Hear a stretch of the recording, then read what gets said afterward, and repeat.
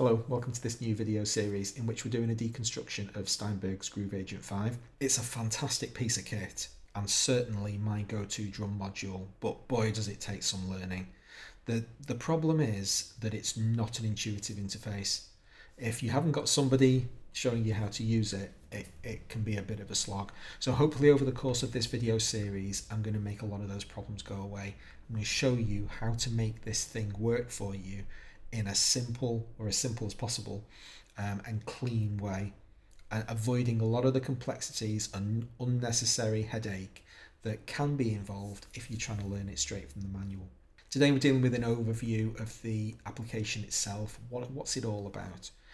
Well, really, it's three drum modules in one. It looks like a single interface, but the three engines underneath it are really quite, quite dramatically different. I'm going to show you each of those in turn.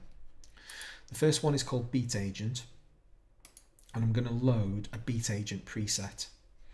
Now, unhelpfully, they've actually created a module, like an expansion module called Beat Agent. I really wish they hadn't, but they did. And so we're loading a preset from the Beat Agent module into the Beat Agent. Try not to get confused with those two things. It certainly did for me for a while when I first started using this tool. So Beat Agent is all about sample-based one-hit pads. And every Groove Agent preset, so this applies to all three agents, we're dealing with agent number one here, the Beat Agent. They all have two different views of the world. They have the pattern view and the instrument view. Patterns are all about grooves, rhythmic sounds made up of different instruments. This is a groove. This is a part of a groove. This is just the ride element. is a snare line, not a particularly exciting one. All of those different types of clustered sounds, those rhythms, are loaded onto pattern pads. You can have 128 pads in Groove Agent. You can see them grouped in uh, collections of 16. So this is a pattern group. And in fact, in this preset, there's only one pattern group. This little orange light tells us that. If I head over to the instrument tab, we get all of the individual sounds that go to make up this preset. So you've got a pattern view and an instrument view in every preset. Beat Agent, as I say, is all about sample-based stuff. You can drop any sample, any kind of sample you want on there, any wave file. You can drop multiple samples onto the same pattern and get a thicker and thicker and fatter and fatter layered kind of drum sound. We've got an awful lot of flexibility on these pads and we're going to deal with all of that in this video series. As far as dealing with the patterns themselves in Beat Agent's concerned, they're really MIDI patterns and you can see all of the different MIDI notes and this looks very similar to the drum editor in Cubase itself. You can pick these things up and move them around and do what you want with the pattern. So you, you're really dealing with it as MIDI information. That's what the beat agent's all about. The second kind of agent is the acoustic agent. And now I'm going to load an acoustic agent preset. Now what you're going to see is a thumbnail change. So now there's a picture of a drum kit up here. If we jump briefly over to the instrument view, you can see it in clearer detail. And if I click on these drums, so each different acoustic agent is a replica of a real world drum kit. Each of these uh, pads, if you click at the bottom, you get a quiet sound. Click at the top, you get the loud version. So they're all velocity sensitive.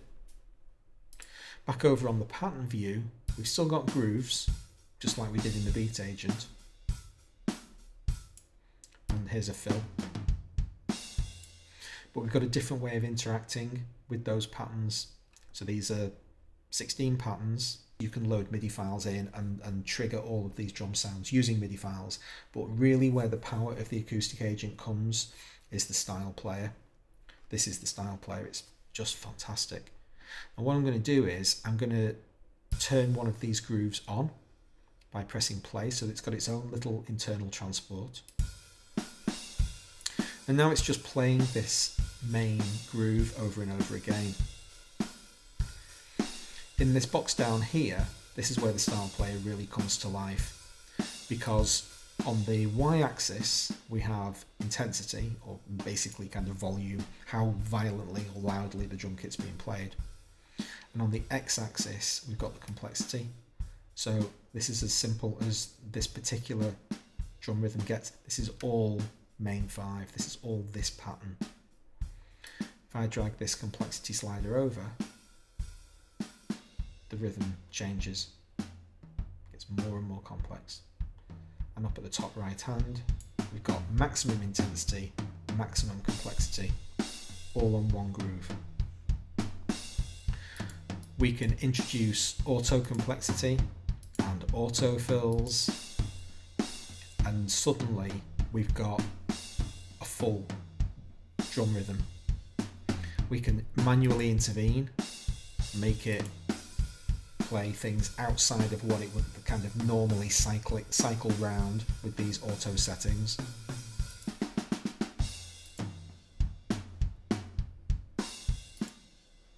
And all of that can be automated. So you can you can basically do a complete performance of a drum kit with very rich complexity and there's an awful lot of settings in this style player that you can go at basically live and you can output that MIDI data to Cubase as a drum line. So pretty fantastic in emulating human beings playing drum kits. That's what the acoustic, uh, acoustic agent's all about. The third of kit is the percussion agent. So we'll find one of those. Now I'm going to load a percussion agent preset and you're going to see patterns and they're going to contain grooves and you're going to see instruments and you're going to be able to hit the different instruments. The percussion agent is obviously all about percussion sounds, but as you'll have seen over here, it has yet again a different method of interacting with the patterns. So let's have a look at how the percussion agent um, treats its styles very, very briefly. So you've got eight different slots in which you can engage or disengage instruments. You can introduce new slots.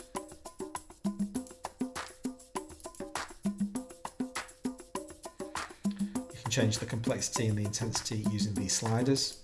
So now instead of having one master intensity and complexity, we're dealing with those scales for each individual one of these instrument components. You can randomize this stuff, change the tempo at which that various that component is played. Groove offsets.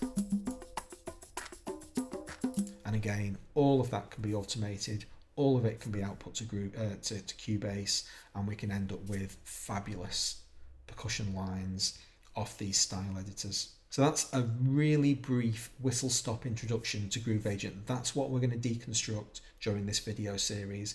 We're going to deal with each of those three agents in detail and figure out how they're similar and how they're different. Groove Agent provides this skin of seeming similarity over the top of them, but we have to always bear in mind that they are fundamentally different beasts and there are many respects in which we'll treat them differently. We can load presets in and we'll learn how the preset management works we have this fully featured browser over here that looks like a little mini media bay and in many respects it is a little mini media bay. It has its own completely independent sampler and we'll, we'll, we'll have a look at that an introduction to how we can record our own sounds and get them into the sampler and do some editing in there. And we'll try to do it in the cleanest easiest way we possibly can. You can really easily get lost in groove agent and end up in a, a quagmire of complexity that's just really unnecessary if you know how to avoid the pitfalls. And that's what this video series is going to be all about. So if that's something that you're interested in seeing, please hit subscribe, hit notifications. You'll find out when the next episode comes out, and uh, I hope to see you then. Thanks a lot for watching.